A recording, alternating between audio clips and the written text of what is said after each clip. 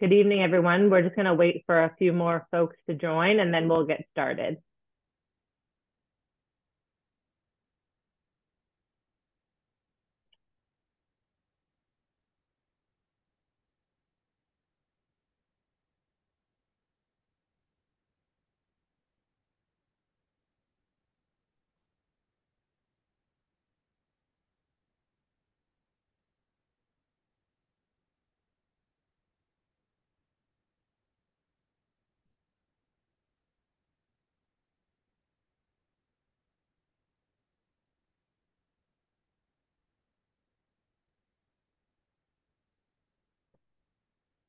We're just letting folks join for about one more minute and then we're just going to get started very shortly. Thanks everyone for joining.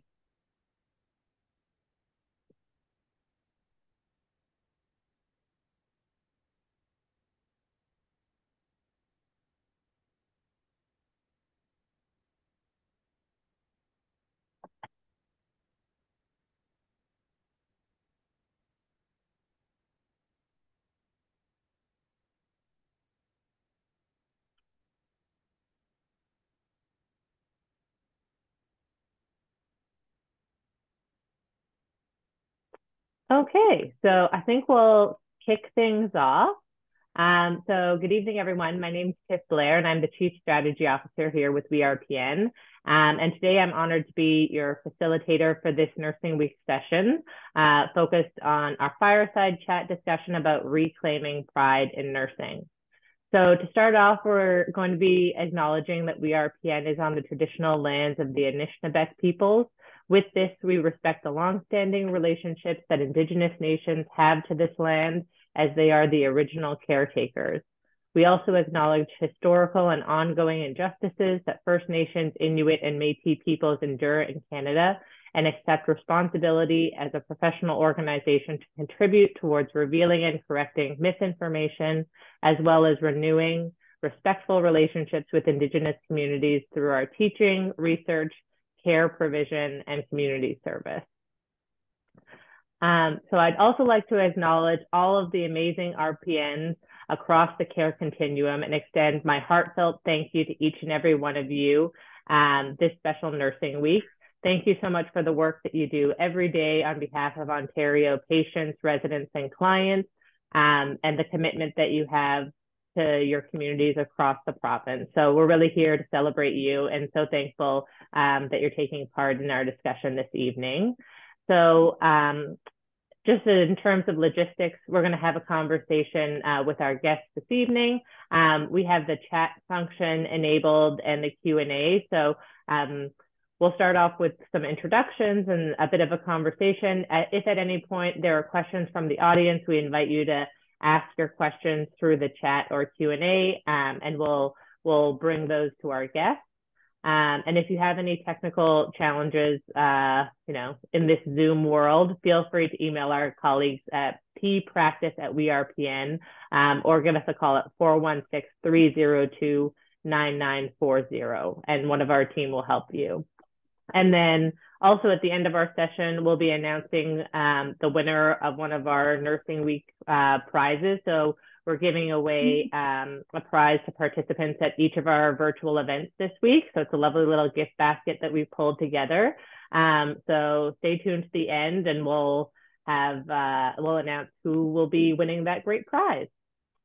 Um, so now I have the honor of presenting our guest for this session. Um, so we're joined by um, Dr. Karima Velji. So just a little bit about Dr. Velji. Dr. Velji is a healthcare leader with a proven track record in fostering engagement of patient care and the system partners to drive innovative models of care, integrating research and care to drive next practice and creating cultures to unleash the potential of high performing teams to achieve stellar results. She's in, implemented innovative health human resources uh, resource solutions within these models of care to ensure optimal scope of practice for all clinicians. She's currently the Chief of Nursing and Professional Practice and Assistant Deputy Minister for the province of Ontario. She's also held senior leadership positions in several academic health sciences center, has operated a successful com consulting company as well.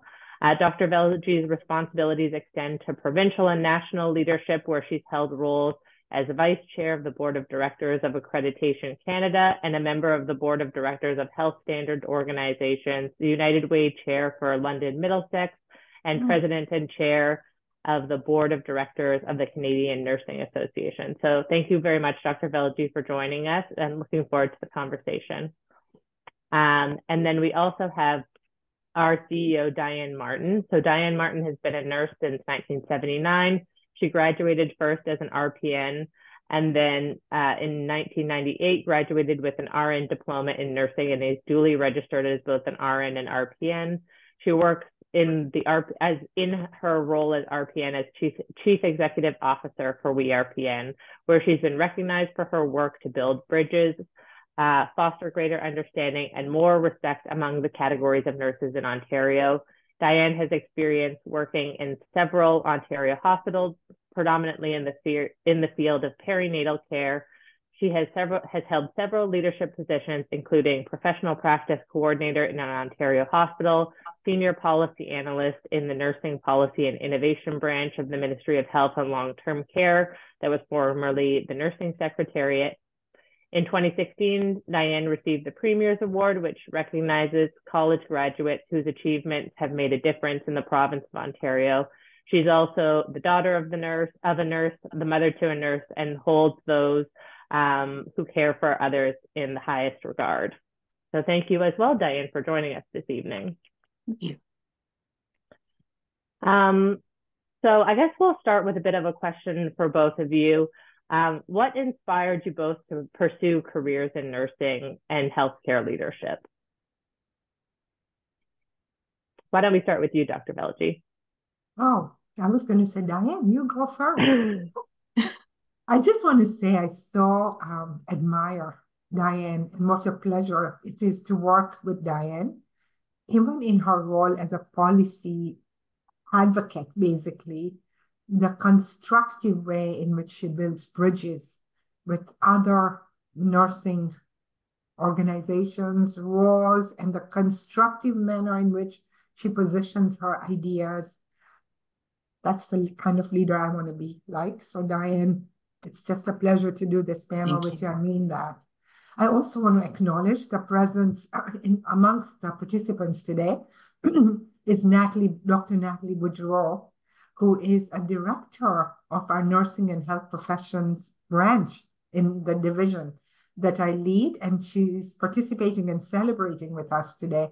And I know she's a big fan of Dianne, we RPN, RPNs, and um, I, will tell you, she um, advocates very effectively for you and the programs that you lead. So, really wanted to acknowledge her presence.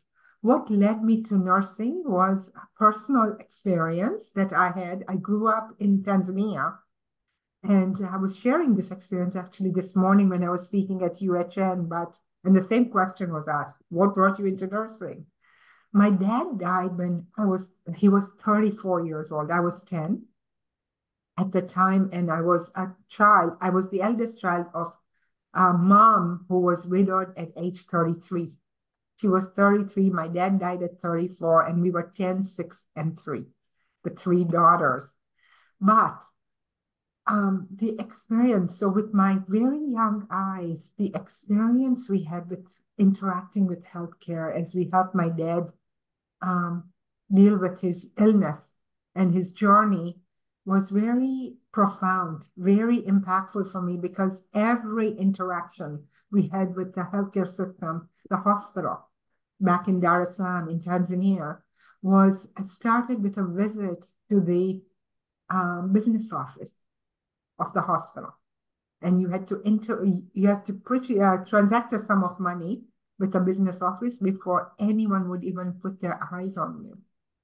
People would die in the hallways waiting for someone to put their eyes on them because either they didn't have money or time, it took time to transact that money. So I just thought with my very, very young self, this is not right. Healthcare has to be a human right. It should be accessible to us very equitably, very equally.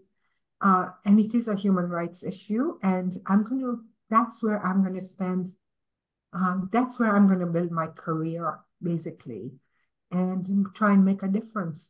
And I became a big proponent and will never stop being a proponent for publicly funded health system. This idea that healthcare has to be accessible to everyone. I thought I was entering nursing to be a stepping stool to medical school. That's how I thought. I thought it's a pre-med program I'm entering, and then I'll go off and be a physician. But by the third year of my nursing program at McMaster, I was completely convinced and that I loved this profession inside out. The values spoke to me of nursing, the holistic care, the responsiveness to illness, like the way nurses have to deal with healthcare matters for the population, and we are with patients. We understand where they are and we journey with them on their uh, health and illness journeys. All of that uh, really spoke to me. And I thought I never looked back since. All my subsequent education um, was nursing, nursing, and nursing. And it changed my life completely and the life of my family and every society I've touched using my nursing knowledge uh, globally. I felt I feel it has opened doors and doors of not only opportunity for me, but doors to make a difference. But it was very personal, a personal experience that brought me to that place. Thank you so much. How about you, Dianne? Well, I think pretty much everyone knows that my mom was a nurse because I talk about her a lot. If you look at my Facebook right now, you'll see a big picture of my mom uh, for Nursing Week. That one of my daughters put up, by the way. But um, I, I was fascinated by her because we grew up. I grew up in a very small town, and mm-hmm. when people didn't want to bother the doctor, they would call my mom at home which I guess people just couldn't see the irony in that, but um, she was beloved. And when she died, she also died uh, relatively young. Um, I didn't know the difference that she made in that town until the, the funeral. And people told me, they would say, you know, I want to tell you something your mom did. And, um, you know, I just would always be asking her questions and and um, that sort that sort of thing. But the other reason, and I don't ever talk about this, but I do want to mention it today. The other reason I went into nursing is because um, for a lot of extenuating circumstances, my family was very um, poor, very financially challenged. We didn't have, we didn't always know when the when the phone would be shut off, the power shut off, um, not be able to have groceries. I don't tell that story very often, but at the time, my high school had an RNA program, and you could go there and study and graduate grade 12 as an RPN. And I knew because of my family situation that I needed to earn money immediately after high school. I, I worked from the time I was 14, but but I knew that post-secondary wasn't in the cards for me. And I knew I was going to have to continue to help support my family. And so I went to that high school program that allowed me to become a practical nurse, which I was thrilled with. And I loved the job from day one. But that is the reason why you'll hear me um, quite often advocating for programs that support people with support for uh, tuition, whether you're a PSW becoming an RPN or an RPN becoming an RN, um, whether you're an RPN who wants to study through the Nursing Education Initiative to, to become specialized within the RPN role. The roots of all of that are in those early days when I don't know where I would be right now if that program hadn't been offered. And um, I just, uh, that was a real driver. And I don't think I've ever really publicly told that story before, but I wanted to share that with you. Thanks so much, Dianne. So it sounds like there's, you know, common themes around personal lived experience really driving yeah. you to the profession for different different reasons, yeah. but ending up in the same place. And I think the other the other theme that I heard from Karima's comments is also, you know, you may have had uh, one thought in mind about where you thought you would go. Maybe you thought of nursing as a, a one part on the longer journey towards a different different career potentially, but that the the profession itself was so meaningful um, that it it caused you to stay. And I think that sort of ties into our broader discussion around pride in nursing. I'm wondering if you can um, talk about how you see pride in nursing and why you think it's important. Maybe Dianne, we'll start with you. Okay, well, um, you know, really pride in nursing, I think almost a 100% comes from our interactions with our patients and making a difference in people's lives. You know, it, I think it's one of the most important professions in terms of uh, uh, of just a group of people who are motivated by making a difference. I, I remember one night saying to a uh, um, to my the, two o'clock in the morning, saying to the rest of the nurses, "Listen, I don't like." I was a labor nurse at the time. I don't like what's going on. I don't. I can't put my finger on why I feel yucky about that patient, but I think I'm just going to sit with her. And then I came out and I called the doctor and I said, "You know what? It might be nothing." but I think she might be dying. And I can't even tell you why I think that. And then the trust between a nurse and a, a physician who comes out and says, then I'm going to come over. And within 10 minutes, we had that woman in an operating room, um, it saving her life. And um, I, to this day, don't know how I knew. Um, her urine was dark. Her kidneys weren't perfused. I didn't. I didn't know. It turned out she was having a massive hemorrhage from a fallopian tube. But, but that going home that day that's where you get the pride from. I saved that woman. Or the days where you know you make eye contact with a patient and and um, you know that they trust you and they're just going to let go of all of their worries because they trust you. And you it's those things that give us pride. It's not necessarily what a non-nurse might think. Great. Um, i'd also just say before i pass it over to karima um, if folks um, who are participating have thoughts about pride in nursing, I invite you to share those ideas um, in the chat as well so that you can engage in the discussion. So over to you, Karima. I see that in my mom right now, Dianne, exactly the phenomenon you've just described, which is when she's in the hands of great nurses, she actually lets go. It's like a trust, a freedom of just being comfortable that um, um, it's really actually it's exactly the way you described it. It's letting go, and now someone else is here who will hold me and care for me properly. Um, de- definitely, that's the driver. That's the pride. That's the place where pride comes from. But also for me, having now um, experienced several policy kind of roles and being in the role that I'm in now, I would also say pride comes from the fact that we are the biggest number of healthcare professions that touch patient care. There are six nurses for every physician, for example, in Ontario. We are the largest num in numbers of people who touch healthcare. We touch it 24 7. So mostly we are not episodic. In our approach, we are the continuous care provider. We are in all settings. We are often the first point of contact. And we are highly trusted profession. When you ask the public, who do they trust the most? We come up at the top of the list again and again in the polling that's done. So we should really also, other than, of course, uh, feeling very proud about the difference we make to people's lives, the pride we should have about becoming architects of the healthcare system and how it should be, how it should be run for patients if we leveraged all of those advantages that we have, our numbers, the trust the public has in us, the intimate understanding of the healthcare system that we know. And we are the you know, go to people when you want to get things done. You go to a nurse. That's who you go to to manage a pandemic or manage an emergency in a hospital. We know how to do it.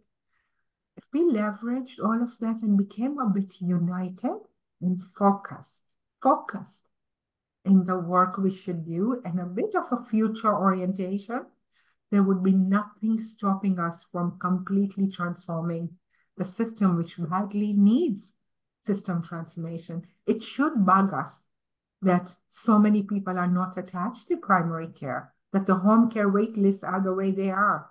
People wait years to get into a long-term care facility, and only people in hospitals are prioritized to go there. Like all of these things get under my skin. They have driven me to this role, I have to tell you. That's why I went here to do this work on an 18-7 workload type of work at this stage of my life. But I, that's what I care about. We should not be in agreement with the way things are now, but we have work to do within the profession to become united in our voice, to become focused in our advocacy, to find our signals basically in the noise of policy and advocacy work, and to kind of take it on and be hopeful about the future. Move forward to the future with hope and some positive energy. Because the energy right now, or the ret- around the rhetoric of nursing, very negative, very negative. Humanly, people stop listening to that. Just humanly. People want to be inspired by what the possibilities of the future. I, I wish we could find our collectiveness on that front. Truly. Thanks, Karima. Um, we have uh, a comment from Nancy who says that I can't tell you the relief I felt when the RPN entered my dad my dad's room in long-term care when he was in the end of his life. Such assurance and the ability to co- console him and us. That's so lovely, mm. Nancy. Thank you for sharing that. Um, just to pick up on one of the comments that you made, Karima, I think um, it's interesting because we're talking about the you know the current healthcare landscape, and I think uh, nurses recognize there have been a lot of challenges over the last couple of years, well, four years in particular. And now for many, we're entering kind of a turning point where some have talked about maybe there have been minor improvements here or there, but there's still more work to, to do. I'm curious how you uh, how you would advocate to nurses to have a forward vision while still acknowledging the very difficult realities that nurses face on a day-to-day basis.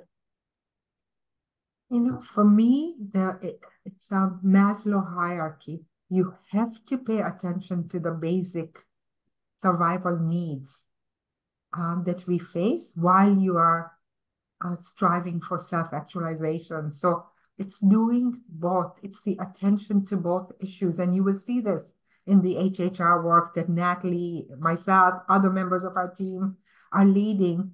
There is attention to putting qualified individuals in the organizations now, whether it's externs, supervised practice practitioners, begin practitioners, it doesn't matter. What can we do very fast to add the right people in the system, but now there's no, we are already late in the game, as you know. We are 15 years late in the game of recruitment and retention. Mm-hmm. For 15 years, right. we ignored, we all ignored the telltale signs that were right in front of us. We predicted the shortages that came upon us before the pandemic 15 years ago to that very number. And we hit those mm-hmm. numbers and then, of course, the pandemic blew it all open. So it was entirely predictable how we, where we came to, but the pandemic, of course, exacerbated it. So our program, our attention is like that. While we build the workforce for tomorrow, what do we have to do today to put the level of support we need to do in the clinical areas? So you will see that a lot in the programs that we have it's adding resources to them. We must do both. You can't talk about self-actualization of anything or a future orientation if your basic issues of workload, um, work life, work life balance, compensation, those very, very basic issues that we need to schedules, to all of that, staffing, have to be dealt with as we are building for the future. So our strategy does take that into account. But as I said, we are pat, catch up is the name, the game we are playing right now. So it feels mm-hmm. like, oh my God, yeah, we are making a difference, but the impact you should feel on the ground is only starting to be felt. And I wanted to convey that, by the way. I wanted to say every data we are looking at now, and I'm a big believer of data. If you don't measure, you don't manage So we Mhm. follow very objective data, not our own data. We follow the College of Nurses data, OHA's data on vacancy, uh, turnover, etc. The s- uh, data from schools, uh, colleges, and universities. All of the data tell us we are turning the corner in a positive way towards staffing solutions. So for the first time, we are seeing our vacancies actually not only stabilizing, but reducing in the hospital sector. I want to, I want to be clear about that. In the hospital sector, we are starting to see stabilization of turnover, vacancies, agency use. Of course, more work to be done in long-term care and home care, where I know majority of the RPNs practice. And we are also seeing historical actually expansion of the nursing workforce in the province. Uh, I would just urge you to look at the College of Nurses website for their monthly reports on nursing growth. We are growing our workforce net by 5,000 nurses every year, and our attrition is stable at 8%. So there's so many good news. That's part of it as well. The way you build hope is you have to stop talking about the sky is falling only because that becomes a very big self-fulfilling prophecy. It's not a hopeful approach.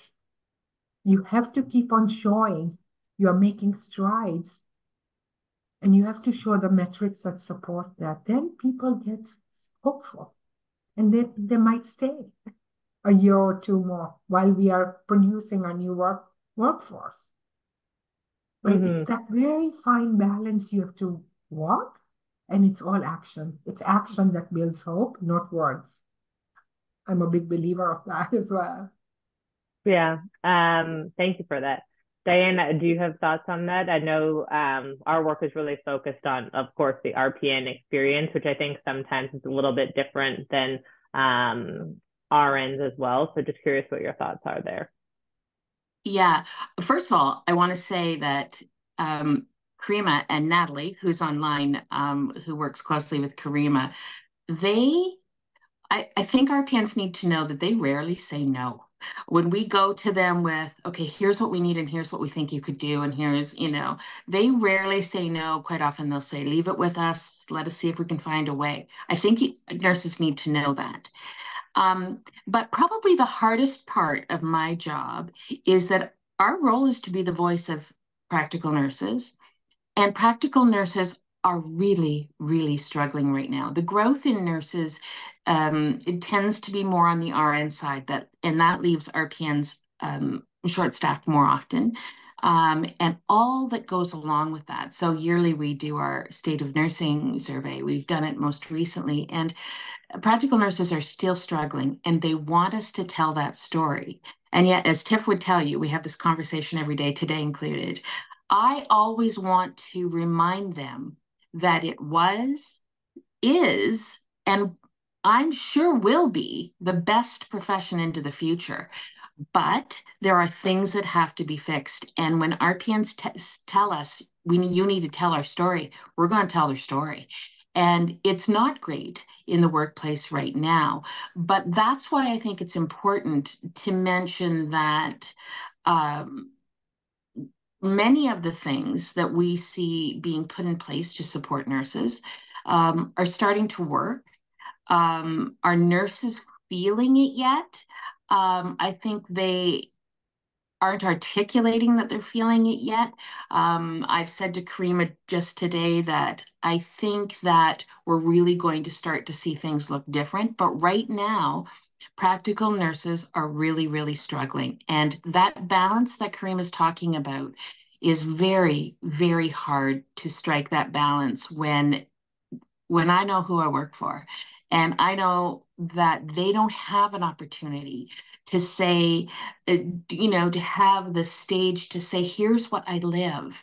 And so I need to do that. And, and I take any and everyone's help on how I do that and yet remain positive about this profession. It's a real balancing act that I have to do. Mm-hmm. Yeah, thanks, Dianne. I, understand, I understand it, Dianne. I do. It's very understandable. Uh, and Thank you, we have to be responsive. These are members. Yes. These are the yes. members you represent. So, of Yeah. course, you're fulfilling your duty to represent their perspectives well to us, and we'll continue to not only listen, but to act on those perspectives.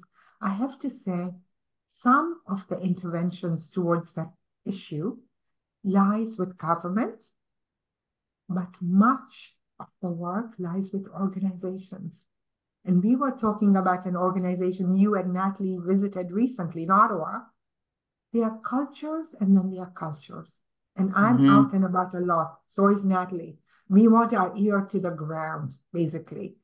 And I have to tell you, every culture, every organization is different. There are organizations in Ontario hospitals that have zero agency, zero agency, and they have had Mhm. zero agency. They have 50, almost 50% of them. Think about it. What what are they doing differently in their cultures that others who are using 70%, 80% agency for their work hours? What is the difference? Sometimes these organizations are side by side, so you can't even say it's geography. Yes. There's sometimes side by side organizations whose turnover, retention, recruitment, vacancies look completely different from each other. So that microculture work Yeah. at the organization level, I would say, is an opportunity to be realized because therein lies a lot of the answer for retention. A lot of the answers for retention lies in workplaces. And and you know, Karima, that is why this year, for the first time, you don't know this yet, but for the first time, we've added in in our list of recommendations of things that we'd like to see happen. We've added in um, the just a greater support from the um, from the leadership in organizations. A lot of it, a lot of it, uh, the culture depends on that. And I'm just going to say where we were. We were at CHEO in Ottawa, and I was halfway through my tour there, and I I see and hear a lot of struggle. But I was halfway through my tour of CHEO, and I thought to myself, I could work here. And then I reminded myself that I'm 63 and I'm not ever going to work at CHEO. But but I um just felt like when I did my leadership, my master's in leadership, they they talked about the smell of the place, and they don't mean literal smell. They just mean when you walk in and you get this feeling. And Yeah. she and they they let me speak to RPNs on every unit, and um, it was quite uh, quite a refreshing view of what could be. And I had the same experience two months ago at St. Thomas Elgin Hospital by London. And the same thing, they took me to Emerge. There's a section of Emerge that is run entirely by RPNs. Those RPNs love what they do. They showed me their whiteboard with the evidence of their work. There was so much pride.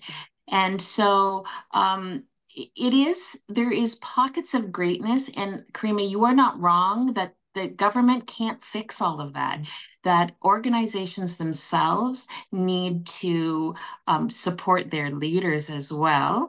Um, senior leaders need to support the more junior leaders, but in order to create that culture that is so great.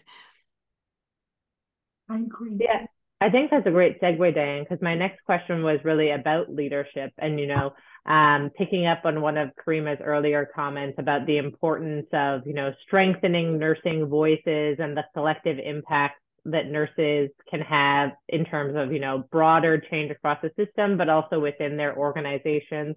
What do you think are some um, effective strategies for really fostering leadership among nurses um, at all levels of organizations and across all sectors? So uh, maybe Karima, I'll start with you.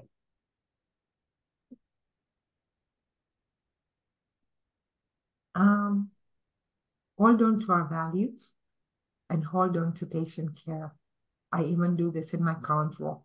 It doesn't matter which place we find ourselves or role in nursing. It's what grounds you has to be clear. It's what actually uh, grounds you to the ground so that you don't waver with the wind and don't go according to where the wind blows.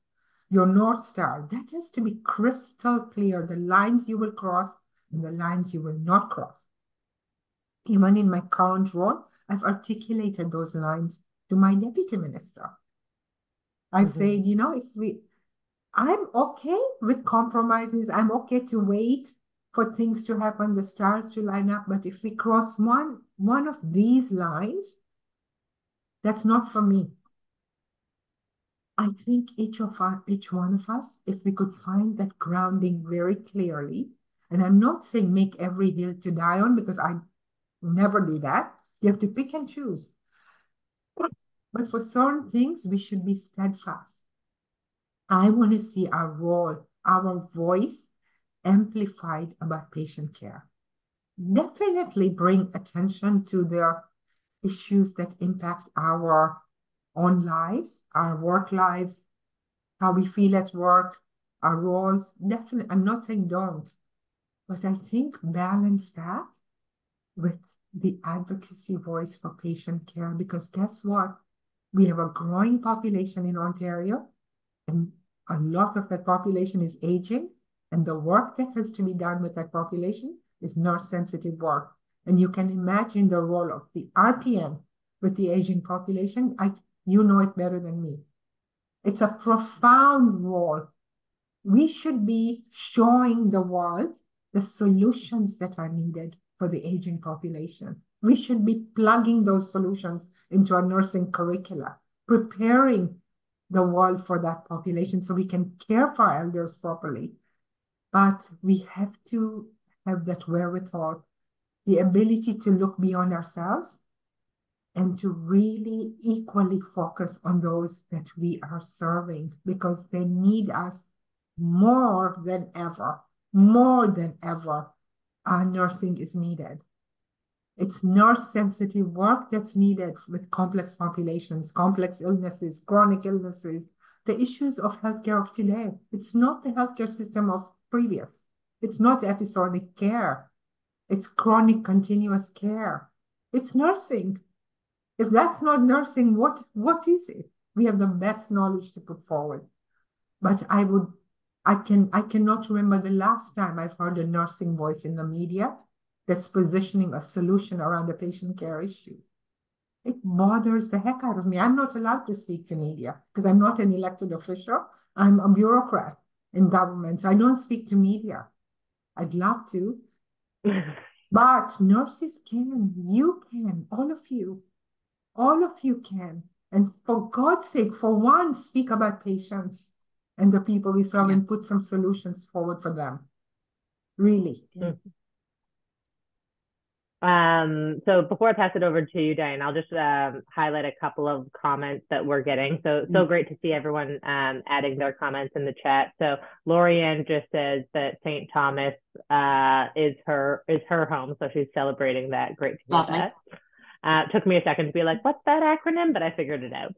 Um, and then, uh, kind of in on the vein that we're talking about, Julie says, as a junior leader, if your senior leader is not helping with leading and making the organization better, how do you advocate for change? So maybe if I pass it over to you, Dianne, you can kind of yeah. take that question. Yeah. Um, so I can't imagine a harder job in an organization than the junior leader who has incredible pressure from the senior team because it's tough times and heartbreaking pressure from the nursing staff. And you know, my my advice to those junior leaders is very concrete. Um, you know, the more difficult it is to go out and be among your people, the more important it is for you to get out there among your people. And so if you have a day where it's very short staffed, be very visible on that unit. Be very visible. Acknowledge every day, even though your own job is incredibly hard, here I am trying to plug my phone in.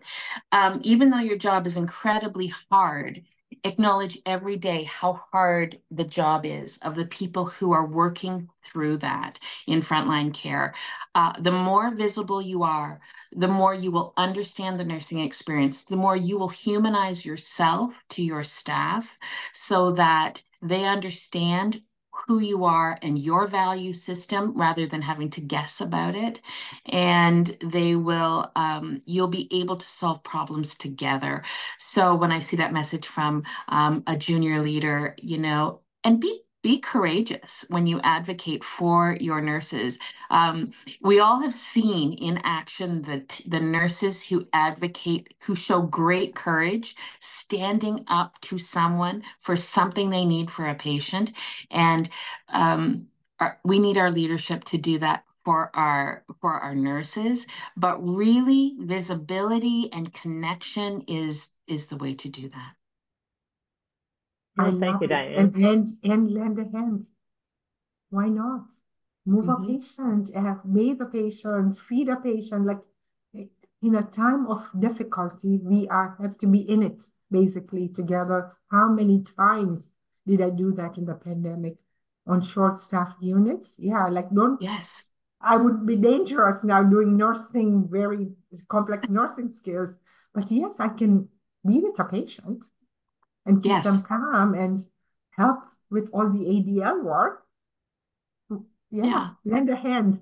The other thing yeah. I would say is maybe it's because I'm now at that age and stage in my life where I'm impatient. You know, I often say to people, we have to have joy at work. If your work is not giving you joy anymore, and and you're not uh, getting the support you need for yourself, so that you can be good to others, leave. The world yeah. is your oyster. The world is your oyster. There are many, many doors open for you. We have to be in places where our health and well being are foremost for ourselves so we can be good fathers. And if your workplace is not allowing you that, there are many workplaces who will. And sometimes, unfortunately, sorry, bad workplace cultures have to go through that trepidation in order to rediscover their souls and mm-hmm. themselves. You have to come to a place of, oh my God, I reached the bottom now. And then I'm hoping from there they will understand the profound work, different work they have to do. I get very impatient now with when we know simple solutions and they are not being put into place I don't want to be there anymore. Yeah. How That's much, very good how point. Much can, how much can you sweat asking for the same thing over and over when nurses ask for supplies? Like, you know what? Enough. This is the 21st century. You're asking for supplies? Someone yeah, so we, please we have some um, comments from our participants. So Andrea is talking about the great experience with her within her organization. So she says, "I'm so proud." As an RPN, to have held many leadership positions in my organization, staff educator, associate director of care, IPAC manager, and now an IPAC specialist for our support office. I'm proud that my organization uh, believes in RPNs as well. So that's great, Andrea. And then we have a comment um, that uh, about from Jamie, who's highlighting some of the challenges that she faces working in home care in the Northeast. So she says that we've been left to struggle with getting our clients what they need and the support the nurses need just to manage the care. We have been forgotten for palliative care with no doctor, no NP, or no hospice. I've been a nurse for 19 years and work in several sectors, and this is a very real struggle every day. Um, not just the compensation, but actually having to tell people, "I'm so sorry, we don't have that available in your area." Um, and then she also talks about, you know, the difficulty recruiting nurses when you factor in, you know, the the pay and what they could make um, at McDonald's when there's when you also factor in, you know, the the uh, pay for travel and, and details like that. Um, so I think that sort of highlights the points of very a lot of variability across the province in terms of how nurses are supported. Um, I'm wondering if you could talk about uh, the importance of mentorship. So we've talked a little bit about you know support for more uh, junior nurses in their careers, but personally for yourselves, has mentorship played a role in your leadership journey? And what advice would you have um, for nurses entering their careers or even midway through their careers of how they could leverage nurse uh, mentorship on their career path. Dianne, do you want to start? Sure. Um, two kinds of mentorship that I think are really important. I was really lucky. First, the big overarching umbrella one. I was really lucky that one day at a nursing council meeting, our chief nursing executive said, I see something in you that I think I'd like to mentor. And I literally turned around to see who's Sue talking to. Um, and there's no one behind me. And I thought, I said, what? and um, we we we developed a formal agreement. I would once a month meet with her. She would tell me.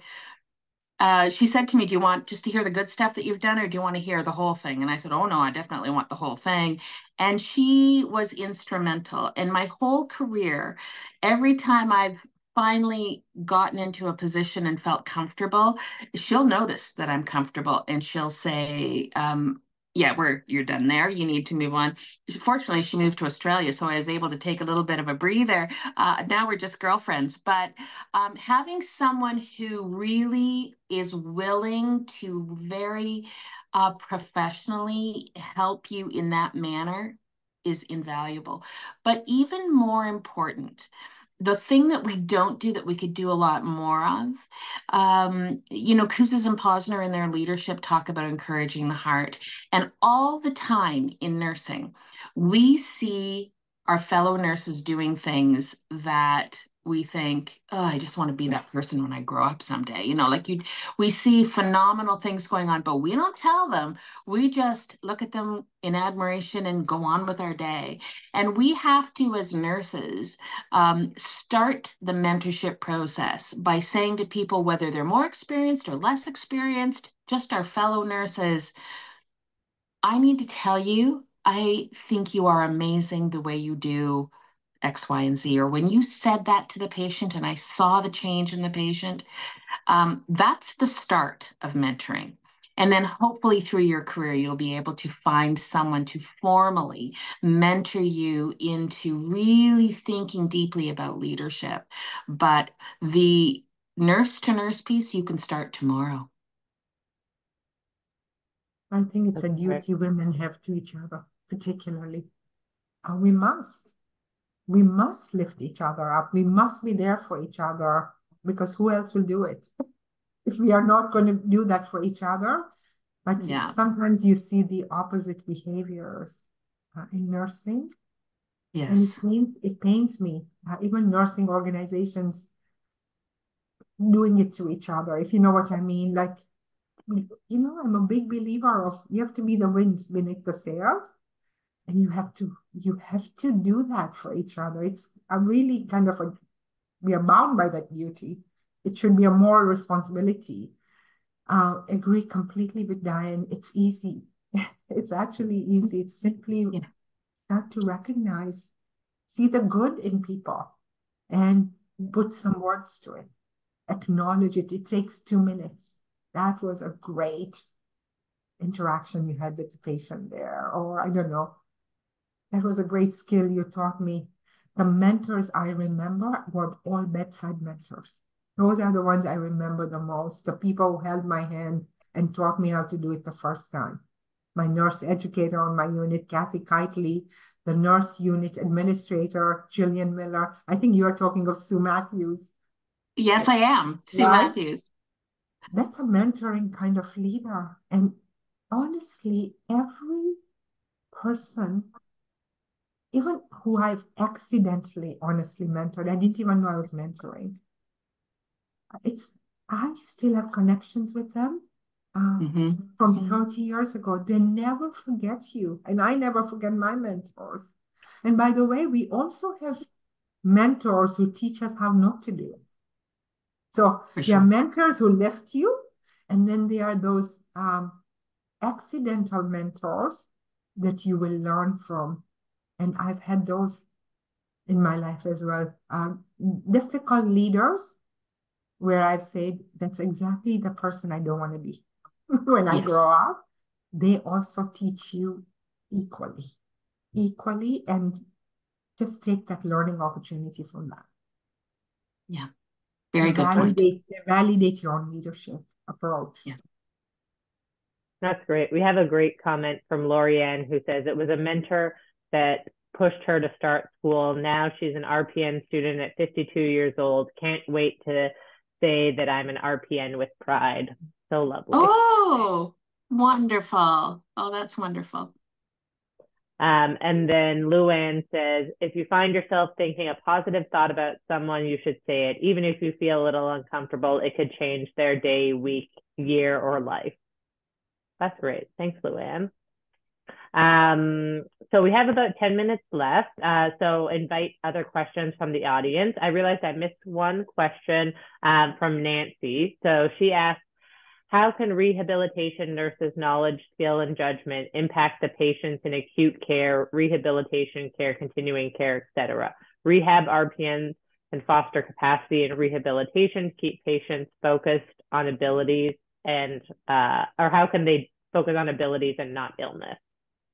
May I answer that first? Sure. Yes. Only because I spent a vast amount of my leadership journey in rehab at Toronto Rehab. So I was an acute care nurse, a nurse leader in acute care. That's who I was. And then Toronto Rehab knocked on my door and said, No, there's a chief nurse position here, and we would uh, like for you to consider it for these reasons. And I said, No, no, I'm an oncology nurse. I want to stick to Princess Margaret. And anyway, I was convinced. The leader there, Mark Rochon, was so inspiring, an accountant, but you would think he was a nurse. He was so phenomenal, such a great male mentor for me. Anyways, off I went to Toronto Rehab and uh, stepping in, I thought, oh my God, this is what emancipated nursing and teamwork looks like. If you want patient centered care, this is how you do it. If you want emancipated team based practice, this is how it's done. And we did some amazing work there with CNA rehab competencies. And, anyways, the nurses taught me their knowledge and how they cared for the per- person's um, how to meet the goals of the patient basically was just a phenomenal thing to watch. The one thing that we worked a lot on at toronto rehab was um, sometimes when the team would meet the nurse would not be present. The nurse was preparing the patient for therapy. And i thought this is rehabilitation. This is all therapy so we discovered this work in the UK called nursing as therapy. Nursing is therapy. And we oh. played off on that work and developed competencies around that and created the competencies for each type of the rehab population we were serving there spinal cord rehab, acute brain injury rehab, and did knowledge and competency building on that work called nursing as therapy. It is therapy. You are not preparing people for physiotherapy you are therapy. And how to enact that 24 7 therapy approach in rehab. I, if you haven't read the work, it will serve you very well in the rehabilitation setting. If that's it, you are the 24 7 person who's enabling the person to regain their independence, their function. A one hour of physio doesn't do it. It's you, it's the nursing. My mom just experienced this at Lyndhurst. Lyndhurst nurses. I don't think I've seen better nurses than the ones I saw at Lyndhurst. Oh my God. They knew her goals inside out and how they worked her towards those goals. Phenomenal. Beautiful. I really congratulate you for picking that specialty to work in. I I um I think that's exactly you have an experience that I don't have, Karima. Um, but it sounds to me like it's really respecting the patient. Um, the the presence or absence of disease shouldn't define our, our worth. And I that's what I see in rehab nurses is that each person is as valuable to you know this society regardless of what their their current um, healthcare situation is that is a uniqueness that i love about all of the rehab nurses including nancy who posed that question that i've met although nancy's not a nurse but anyway uh, that's another uh, uh, she's she's she's uh, an allied health care professional with a tremendous respect for nurses and as you know that is a really cool thing. That's amazing um, so again, just invite any last questions or comments from the audience before we close things out. If anyone has any um, final questions. Um, I guess uh, one final question that I'll ask is, what is your hope for the future of nursing? Um, Karima, I'll go first if you like, because I'd really like you to tie this up uh, it, it, at the end because you have such a, a you know a huge view of nursing. But for me, it's pretty simple. I have a daughter who's a nurse, and I want her to live the joy that my mom and I both got to experience in this profession. I want her to laugh with her teammates.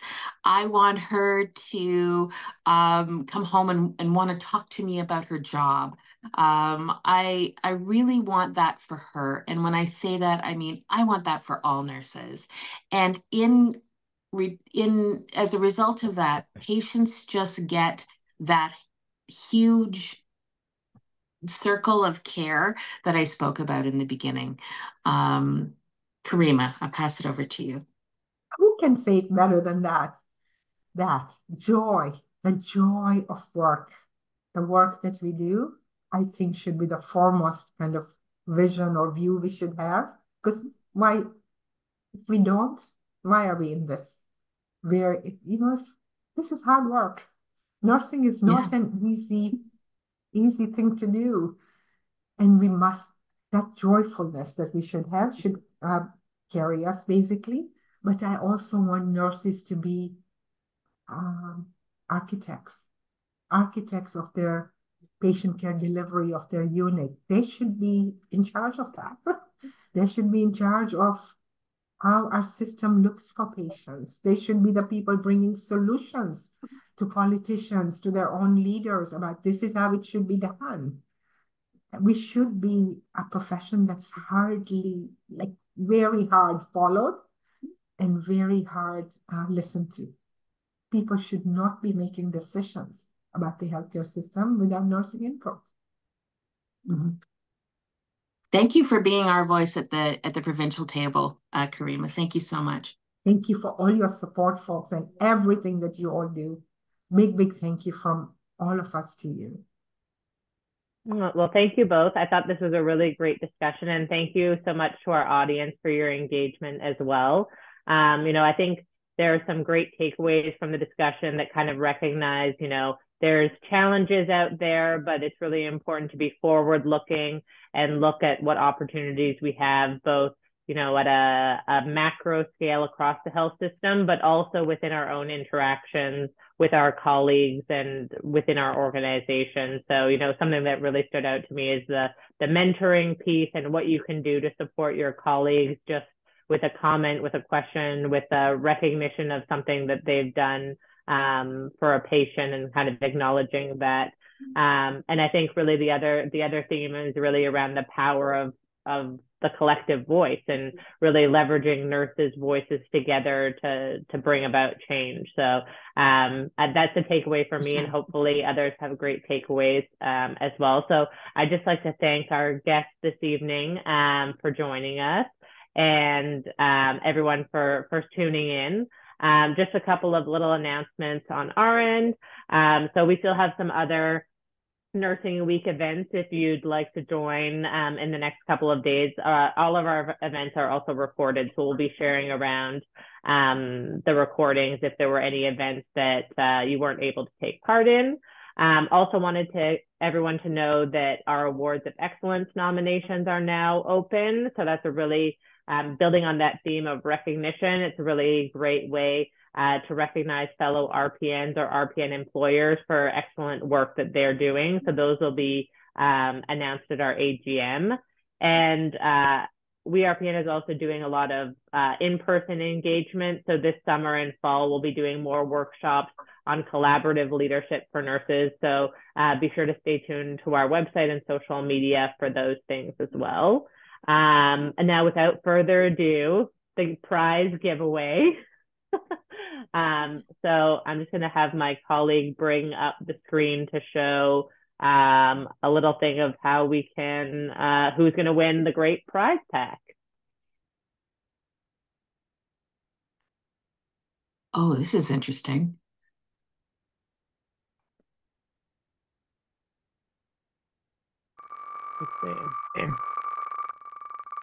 Oh, I'm waiting with bated breath. Oh.